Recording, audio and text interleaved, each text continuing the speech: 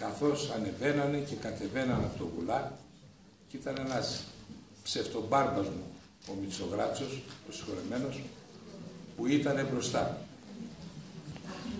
Θέλω λοιπόν, στο όνομα των παιδικών μου χρόνων και σε ό,τι σημαίνει η αγάπη για μια πατρίδα, να ευχαριστήσω τον κύριο Γκίνη, τον κύριο Μιχάλακα, τον Σταύρο, τους Τσιπιανίτες, την κυρία Ζαπαθά που δεν είναι Τσιπιανίτης αλλά λέει τόσο ωραία τα τραγούδια μας και φοράει το ωραίο γιορτάνι, όλους εσάς, ιδίως τους νέους, με τις διαφωνίες τους, άκουγα για το, για το άλογο. Εγώ πιτσιρίκι ρώταγα τον πατέρα μου, δεν έχει κανένα άλογο να καβαλήσουμε. Καϊδάρες είχαμε και μουλάρια το πιο πολύ. Άλογο θα το βρείτε. Αυτό όμως που κάνατε και αυτό που καταγράψατε είναι ένα βάλσαμο στην ψυχή μας, όχι για ρομαντισμό, ρε εσύ, τι ωραία που ήταν τότε, οματόδρομοι και λάσπες ήταν. Πιο ωραία είναι τώρα. Αλλά γιατί μας δίνεται κάτι να κρατάμε στην ψυχή μας για την πατρίδα μας.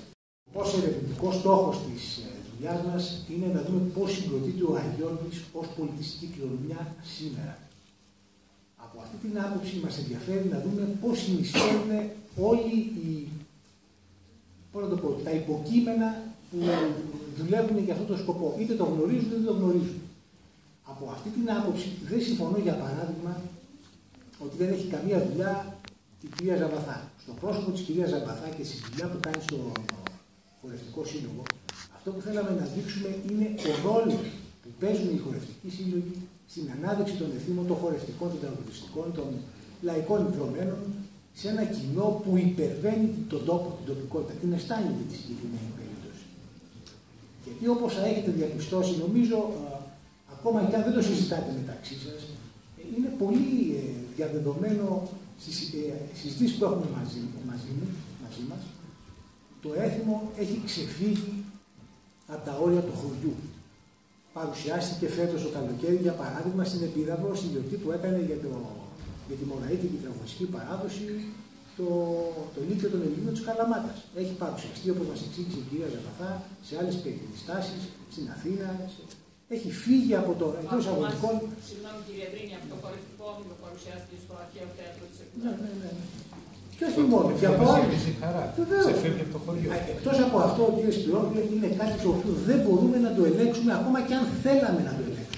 Αυτό που λένε δηλαδή οι φίλοι Όπω έχουμε πολύ όλε τι απόψει και ότι δεν έχει κανείς δικαίωμα, είναι μόνο τσιπιανίτικο, αυτό δεν μπορεί να συμβεί. Είναι ένα ερώτημα αν θέλουμε να συμβεί. Εγώ δεν θα ήθελα. Αλλά ένα δεύτερο ερώτημα αν μπορεί να συμβεί. Δεν μπορεί να συμβεί. Μου λέτε για, τις, ε, για τη διαμάχη. Κοιτάξτε, σας είπα από την πρώτη στιγμή ότι ο δικό μας ερευνητικό στόχο δεν είναι να παρουσιάσουμε τον δρόμο εκρομαντισμένο. Να σας δείξουμε τι ωραία που τελείται εδώ και 2.500 χρόνια. Πρώτον, γιατί δεν είναι αυτή η λαογραφία που θέλουμε να υπηρετήσουμε. Σας είπα ότι ο στόχος ερευνητικό είναι να δούμε πώς συγκροτείται σήμερα. Και νομίζω ότι το ξέρετε πολύ καλά ότι οι διαμάχες που φαίνονται, οι διαμάχες, οι διαφωνίες που φαίνονται στο φιλμ υπήρχαν και πριν την κάμερα. Η κάμερα επέδρασε σαν καταλήτης, αν θέλετε. Της έφερε στην επιφάνεια. Και γι' αυτό ακριβώς δείχνουμε και τον δικό μας ρόλο και τον ρόλο των δημοσίων υπηρεσιών που καλούνται να διαχειριστούν την πολιτιστική κοινωνία και τον ρόλο των δικών μας ως ερευνητών. Γι' αυτό έχουμε βάλει και τις κουβέντες τις δικές μας και την συζήτηση που προηγήθηκε κατά την ημερίδα, προκειμένου να σας δώσουμε να καταλάβετε την άποψή μας, τη θέση μας, αυτό που εμείς καταλαβαίνουμε τον Αγιώργη.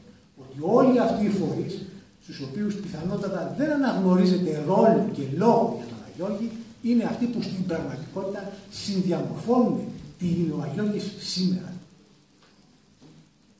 Σας είπα από την πρώτη στιγμή ότι δεν πρόκειται να δείτε μια ταινία τύπου Κυριακής στο χωριός. Μου λέτε για τον ρόλο των νέων ατόμων. Ε, είναι μια κριτική, μια στάδια που είναι πολύ σεβαστή. Πολύ σεβαστή για μένα και υπάρχουν περιθώρια και βελτίωσης και, ε, και όλα τα σχετικά. Αλλά παρακαλώ να έχετε πάντα στο μυαλό σας ποιος είναι ο ερευνητικός στόχος της ταινίας και της έρευνάς μας. Και δεν είναι η ταινία του έφημα. Δεν είναι η ταινία του έφημα. Και είναι και ένα άλλο. Και ε, επίσης να λάβουμε υπόψη μας ότι που απευθύνεται η ταινία δεν θέλουμε να δείξουμε μόνο τους Τσιπιανίτες.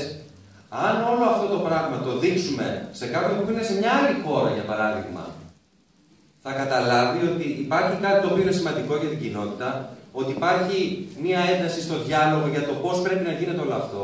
Και αυτό δεν είναι κάτι το οποίο έχει να κάνει μόνο με το δικό σας δρόμενο.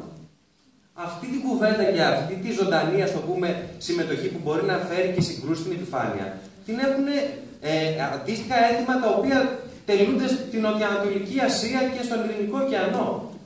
Οι κοινότητες συγκροτούν την ταυτότητά τους μέσα από τα δρόμενα. Το αν η νέα γενιά θέλει να φαίνεται πιο πολύ, το αν οι μεγαλύτεροι τσακώνονται για το ποιος ξέρει περισσότερα τραγούδια και το πώς η κοινότητα βγαίνει πιο ισχυρή και πιο ενωμένη μέσα από την τέλεση του εδήμου κάθε χρόνο, εσείς το ξέρετε περισσότερο από εμάς. Εμείς δεν ήρθαμε να δείξουμε ότι τσακωθήκατε. Έχουμε κόψει πολλούς καυγάδες και πολλά κοντρά λόγια. Γιατί δεν θέλουμε να εκθέσουμε κανένα. Εμείς θέλουμε να δείξουμε τον τρόπο που συγκροτείται όλο αυτό γιατί όλο αυτό είναι το έθιμο. Και δεν είναι όλο αυτό αυτή τη χρονιά. Ναι, μεν μπορεί να υπήρξε παραπάνω ένταση, αλλά ξέρετε πολύ καλύτερα ότι όλη αυτή η κουβέντα για το ποιος έχει την αυθεντία, όπω ακούστηκε στην ημερίδα για το δρόμενο, είναι κάτι το οποίο τρέχει στην κοινότητα χρόνια τώρα, ειδικά από δεν πέθανε ο Βράτσος. Λοιπόν, αυτό το πράγμα εμείς δεν θέλουμε να εκθέσουμε κανέναν. Θέλουμε να ανοίξουμε μια κουβέντα με εσά, λέγοντας ότι δρόμενο και έθιμο δεν είναι μόνο το ωραίο τραγούδι που δείχνοντάς τον σε ένα τρίτο θα πει μπράβο στους πιανίτες.